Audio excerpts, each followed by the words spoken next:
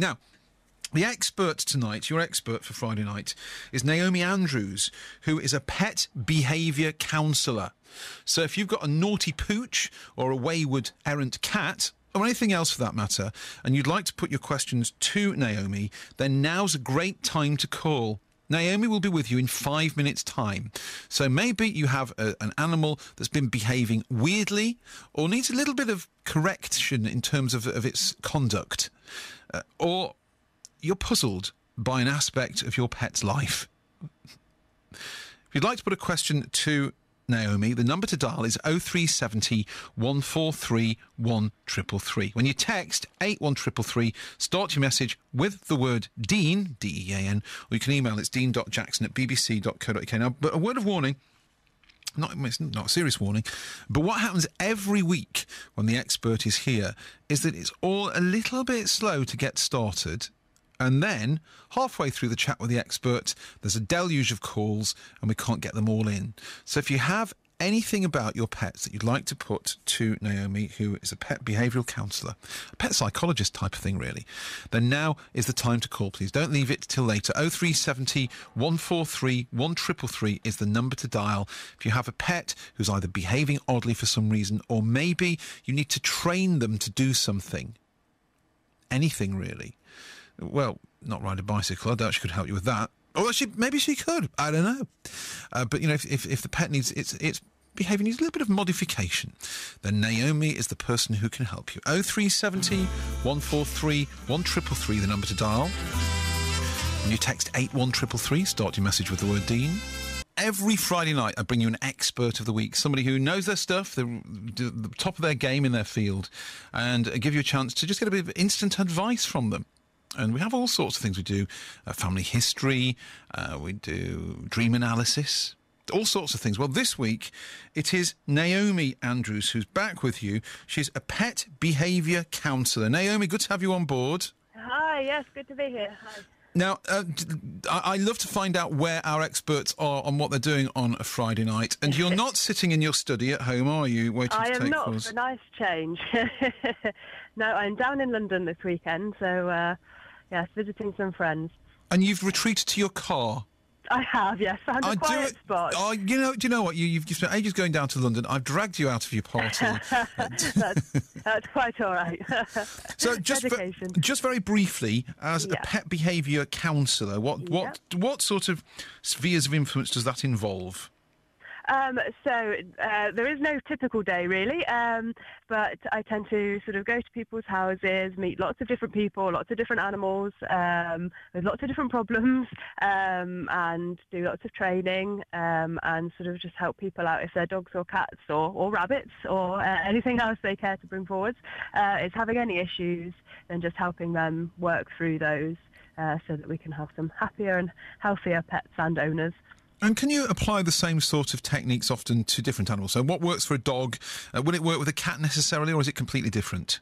Um, yes, so uh, a lot of the time with cats, it's usually more to do with the environment. There's something in the environment, cats being a bit more independent, shall we say, than dogs. Um, so yes, there's usually something in the environment that we can change to make cats happy, but we can certainly use the same sorts of principles with cats as we can with dogs. Uh, we also learn in the same ways, so uh, yeah, we can certainly train our cats as well as our dogs. Okay, we've got a question for, from uh, Kath from Melton Mowbray in just a second. But first, if you'd like to put your question to Naomi, uh, then the number to dial is 0370 143 1333. And whilst I love getting your texts and your emails, uh, it's just a bit easier if you phone because then uh, you can talk to Naomi and she can seek any clarification, any subsidiary questioning should she need to, to do so. 0370 143 1333, the number to dial. So Kath's been on from Melton Mowbray, Naomi. She's got she's got a cat problem. Uh, she, she's had a cat. It's a rescue cat. She said it's it's settled in quite well at, at her house, but it's got this habit of running up the curtains. Okay, right. Is this a common thing? Um, yeah, it can be. I would. Uh, it would be nice to know in what uh, sort of situations, if there's certain situations or something that's actually provoking it to run up the curtains, um, whether it's something that it's worried by or whether this is just um, a, a good a good game. Um, so if it was something that it's worried by, then obviously it would be nice to know what that was, and we could start doing some sort of slow Yeah. desensitization to that, so that it doesn't have such a strong. Well. Kath describes it as playful. She said that Okay. in her email. She said it's, it's not. It's not stimulated by anything, but at Okay. one moment the cat will be sitting there quite happy. The next minute it runs up the curtain. It doesn't seem distressed, she said. In fact, seems to quite enjoy it. okay, so it's having a good time. Okay, at the expense of the curtains. Uh, yeah, so I'd say if there's certain times of the day that this happens, then those would be good times to start initiating some games. So if you've got sort of those little fishing rod style toys, um, or just um, giving it some fuss or moving that sort of uh, tea time to those sorts of times. So targeting those particular um, energy uh, rich times with other things to distract it, giving it plenty of things to climb on. It's you know more appropriate things to climb on than the curtains. Um, so making sure that obviously if it's enjoying itself doing that, that's brilliant. But if we can channel it into sort of more appropriate activities, then that would be good. So lots of scratching posts, things to jump up onto and climb onto, and um, really sort of using play to encourage the cat and show show the cat other activities that are just as enjoyable, but uh, don't risk the upholstery. So, reading between the lines, you think it might be boards, don't you, Naomi? So potentially, yes, Yeah. finding its own way of uh, releasing all that energy, yes, because cats do, you know, in, in the wild they would be hunting sort of several times a day. Uh, they they also hunt when they're not even hungry, uh, so they're quite motivated to perform a lot of these behaviours. So we need to make sure that they've got lots of outlets throughout the day for that as well. And it's interesting that Kath mentioned that it was a rescue cat. Do they pose a, a particular issue, or uh, do they, do we face the same challenge when we take on a rescue cat as, as if we were getting our, you know, a, a cat from any other source? Um, I think it all depends on what the cat's been through. Uh, so potentially cats that have been through rescue, uh, obviously just the process of going into a rescue, if it's been in a cattery, that's quite stressful for a cat. It really depends on its territory being the same um, and relies on those familiar scents and things. So being moved from from one place to another, the cattery, which might be a very busy environment full of people and other cats potentially it's never met before, then going into its new home. So things like that can trigger it. Um, but it's really about the cat's experiences. So a lot of people will have these sorts of problems, even though they've had the cat from a kitten. Uh, a lot of the time, kittens will do these sorts of behaviours which seem quite cute when they're kittens, and then as they start to get a little bit bigger, it starts to get a little bit less. When they start pulling the curtains down and the, the, the, the, Yeah, curtain rails, absolutely, yeah. bowing in the middle, yeah. All right, Yeah. um, I'm going to put some music on if that's all right, Naomi. Okay, Um, got lots yeah. of calls coming through, so I'll be back with you just, just a couple of minutes if that's all right. Okay, lovely. If you have a question for Naomi Andrews, she's a pet behaviour counsellor, then now is the time. Don't delay, pick up the phone now. 0370 143 1333 is the number to dial. And don't forget the icebreaker for tonight as well. One in eight house owners didn't do what before they bought their house. 0370 143 1333 is the number to dial. Day. I'm Dean Jackson. Naomi Andrews is a pet behaviour counsellor who's currently locked in a car in central London. thank you for doing this. I can't thank you enough. That's quite all right. Uh, Naomi, I'm going to connect you to Vicky, who's in Mapperley Park. Vicky, meet Naomi. Hi, Vicky. Hello, Naomi. I'm in a car as well. It's pretty horrific weather. Oh, you're in a car as well? Um, yes, I just pulled over to speak to Naomi. Oh, well, it's, it's, it's a car-to-car call. Absolutely, yeah. in good company. Go on, Vicky, go ahead with your, with your question for, for Naomi. Um, I wanted to ask you about my cat. Her name's um, Zelda, but she's now nick- got the nickname Smelda because she's quite naughty. Um, she Okay. um, is, is all quite random behaviour. She's she's a very naughty cat. She would Right. sit on the worktop. She she quite likes to sit on the big chopping board, even though I tell her off repeatedly for doing that. And the thing Uh-huh. is, when she hears me coming, she jumps down, so she knows that it Okay. is naughty. And Yeah. she helps herself to food on the worktops um, and Right. rips the packets to bits. So quite often in the morning, there's just food up. There's just like some cat food massacre across the kitchen floor. Yeah, Um, she, also, she also tends to go to the toilet behind the TV on the carpet and also sometimes in the dining room. Which We've all done it, Vicky. spot. Which is a mo- she's not even gone out on the shandy. Like that. She's no, there's no good reason for her to be doing this. She has got a litter tray, um, and quite often, uh, you know, um, but she'll use it, but some then for a few days she won't. Um, And she does go outside a lot. And there is one thing that I should mention. She's quite a small cat. Um, I've got two cats. One's perfectly well behaved, but she's quite small. And I have noticed that when she goes out, the other cats do tend to pick on her a little bit. So I wondered if it was kind of something to do with that. But my, my main question is how can I discipline her? Because I've tried shouting, I've tried chucking her out, I've tried gently kind of tapping her on the bottom, you know, just to, just to, mm-hmm. you know, on the side, just to say that's naughty. And she does seem to get that, but then, you know, the, she just repeats the same behaviour all the time. So I'm a bit mm-hmm. kind of at the end of my tether as to what to do next. I can understand that. What do you think, Naomi?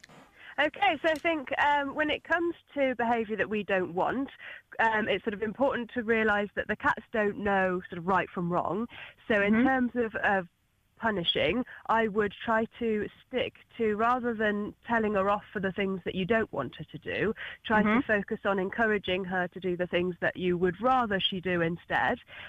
Um, so, for instance, with the walking on the uh, the kitchen surface, that's quite a, a common one because the trouble is they're rewarding themselves by eating whatever it is or playing around um, on there. So, although you're kind of you're punishing her for it, she's already got what she she wants from it. so, um, if you can Uh, as difficult as it is, try and clear away as much as possible so that she doesn't have the chance to reward herself for that and mm-hmm. give her other options for other things to do. So like with the, the first cat we talked about, making sure that there's lots of outlets there for all those different instincts and that desire to want to get up and, and play with things because it seems like she's mm-hmm. quite, in her, the more mischievous animals tend to be the ones that need that extra bit of, of stimulation. So the more games and things you can play, the more enjoyment she gets out of other activities, and the less rewarding it is to jump up on the side because actually there's no food there anymore, then she's got no incentive really to jump up, but she's Ah. got more incentive to go and do the other things. So say from that point of view, then that might be a, a good place to start on, on that front, and especially if she is being picked on a little bit outside and she's not perhaps feeling like she can go out and do all those things that she wants to do outside. So she's finding her own way of, of doing those things in the house instead. In sort of situations that you really rather she she wasn't be doing be doing those. Is bullying a problem in the cat world then? It is, unfortunately, Ah. yes. It does seem to be because we live in sort of quite densely populated areas, as opposed to cats tend to uh, move towards being more solitary creatures. Uh, it is something we come across because they're naturally quite territorial. Then, when we've got lots of different people in the same area, all with cats trying to sort of establish their territory, then Yeah. unfortunately that does happen. Yeah. Yeah, there are about five cats um, in quite close proximity, and there does seem to be a bit of a hierarchy. I mean, my other cat there seems to be the boss. Um, he's, okay. he's just, you know, he's just so cool. He just walks around, and nobody kind of gives him any hassle. And do they Um, get on all right in the house then, Vicky, when they're together? Yeah, they're quite happy together. It's not a problem at all. It's a shame he doesn't take her out and look after, her, isn't it, really? yeah, that's Yeah, it. you think, Chaperone. it, you think he'd have a bit of brotherly love going on, You but no, would. he- unfortunately, he doesn't care. No, cats don't work that way, unfortunately, do they? All right, Vicky, it's lovely to talk to you. Thank you so much for your call. Um, I hope thank you. you're going to stay in the in the, the car till it stops raining now, are you? I might have to, I think. I don't want to ruin the hair, so Oh, yeah. uh, it's lovely to talk to you. Have a great weekend, Vicky. Thank you. Ta-ra. Bye. Bye-bye. Uh, Naomi, I know you're still in your car there. Can I just play one more tune and then put one more question to you? Will that be all right? You sure that's okay? I'm aware I'm Yes, taking up your precious no, that's quite all right. weekend away in London. All right, Naomi Andrews is a pet behaviour counsellor. If you've got a question for her, 0370 143 1333. But this is your final warning now, because after the next call, that will be it for tonight. Naomi Andrews is a pet behavioural behaviour counsellor from around here, actually, though, spending the weekend. Um, doing other exciting things this weekend. Uh, Naomi, uh, this this email in from Bill who says, uh, "My wife uses a spray bottle filled with water. When the cats misbehave, she sprays them lightly on their side. They hate the spray, but seldom, if ever, repeat the offending act." Okay. Is that is that a, an authentic way to, to deal with it? Sounds as effective. Uh, yes, I mean, there's probably little argument that punishment can be an effective way of training them.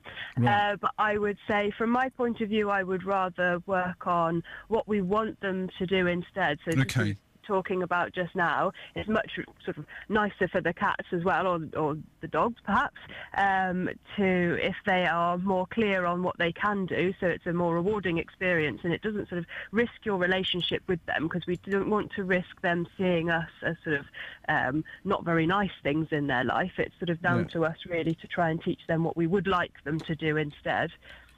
Okay, so it's, it would be classed as a punishment, would it then, do- using the water bottle? Yeah, so anything that's designed to to sort of reduce behaviour in that kind of way, yes, it's you know as mild as it might be, it is sort of classed classed as, as a punishment. Okay. Although it's not as bad as it could be. It's, No, no, no. yeah, I would, yeah. Well, it, it, it's absolutely cat-tastic tonight because I, I've just got. Uh, well, I mean, we could go on all night, but one more to put to you. This is from Wolfie, who's on the M1 tonight. He says, "Naomi, how can I stop other cats from using the cat flap and wandering in? Okay. So I don't want a of- flap that's automatic or linked to the cat collar. Really, Right. Okay. is there a way around Um, that? So uh, it is more difficult if you'd if you'd rather not. I mean, those are quite effective ways of doing it. If you if you can, you can have ones if it's the actual collar itself that you'd rather not have on the cat. Then you can get ones that work off their microchip as well. So then they don't actually necessarily need to have a collar whilst they're Oh. out and about. But the the cat flap actually detects the microchip in them, and so that opens when they're in within a certain distance of of the cat flap. So tho- that can be a, a quite effective way of doing that. Otherwise, it, depending on the resident cat, you can um, cat-proof your um, your garden, if you like. But obviously, that then prevents your cat from being able to sort of go further than the garden. So it depends on the needs of the resident cat as well.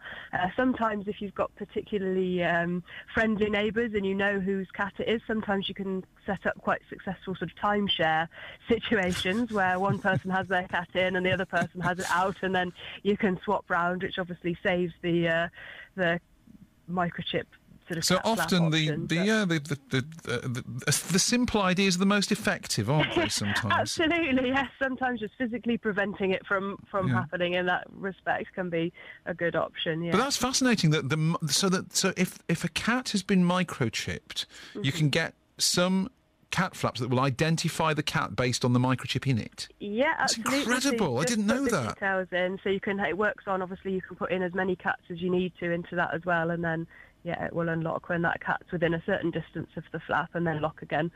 So yeah, those can be quite good. That's amazing. All right, Naomi, thank you so much. Enjoy the rest of your weekend. Bless you for Thank you being very here. much. Uh, if people want to, to to find out more, contact you during the course of the week. There is a website, isn't there? Yes, yeah. So you can find me at www.basketcasepetbehaviour.co.uk. So it's basketcasepetbehaviour.co.uk if you'd like to find out more, get in touch with Naomi. Thank you so much. Much appreciated. Enjoy your Excellent. weekend. Nice, to- nice to be on. And I hope we can do it again in a few months' time, maybe. Yeah, I look forward to it. Thanks, Naomi. Take care. Okay, Bye-bye. bye. Naomi Andrews, who is a pet behaviour counsellor. If you'd like to find out more, uh, then the website is basketcasepetbehaviour.co.uk.